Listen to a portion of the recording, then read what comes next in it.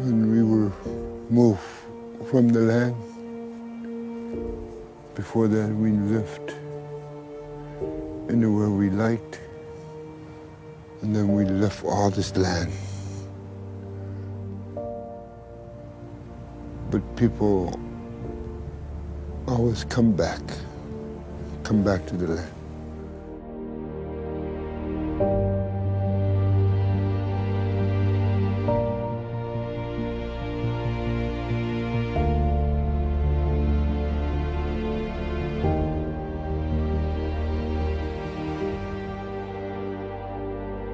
My name is Zacharias Kunuk. I'm part of Isuma Collective. I'm born on the land. Uh, remember living in sod houses, uh, dogs everywhere, loose.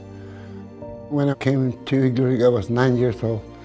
Um, I started seeing movies in the, in the little community hall we had. Maybe three times a week they showed 16 millimeter films.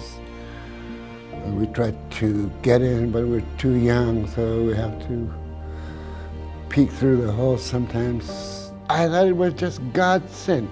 I mean, these films. But we had no TV in Igloolik. All the entertainment was by word, and you listen, uh, you fall asleep, uh, beg your grandmother to retell the story where I fell asleep and, start to see the story, uh, just like watching a movie. In 82, uh, I brought home a TV, VCR, got a camera, tripod, and I was trying it out on community events, like Easter events when they have games down on the ice. I would try to film them. And I had a friend down here in Ottawa who would tape cartoons for me and send them up, and I would play it on my TV. I started noticing all the kids playing outside are glued to my window. And sometimes I would realize there's lots of kids in my house trying to watch TV, and I thought, that is the future. If the kids want to watch this, then we should put something in there. So that's how I started. We started back in 1985. We were sort of just experimenting. Because uh, we learned how to use this new technology. We're trying to bring our own history back into the living rooms across the Arctic and people who are interested down south. When we have a story idea, I sit down with elders and develop the story more. And then um, when we have the financing in place, uh, we hire women with their apprentice making costumes. Any hunting tool have to be made by hunters.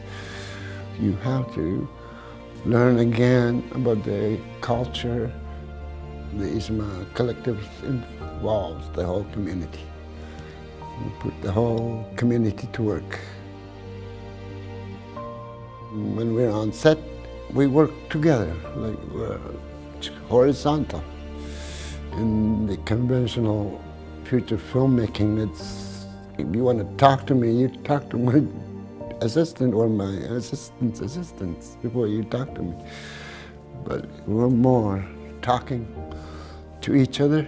Um, cameraman could make a suggestion if we shoot it this angle, it's better. Yeah, that's how we work.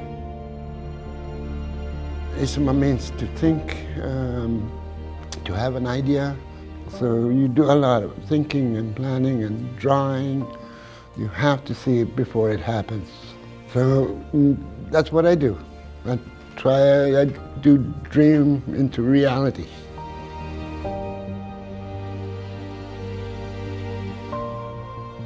It's an honor, I mean, to represent Canada. What I'm looking most forward to is I'm gonna represent Canada from Canada.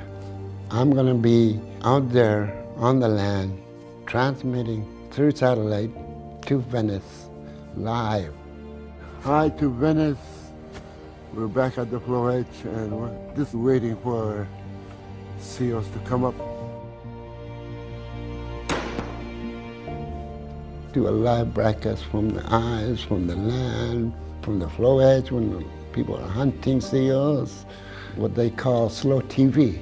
Uh, just broadcast them live and let people start following us and watch what we're doing. Why we started, we formed our own Inuit company, Isuma, not to hear our culture from professors or anthropologists. And we want the people to understand directly coming from the people.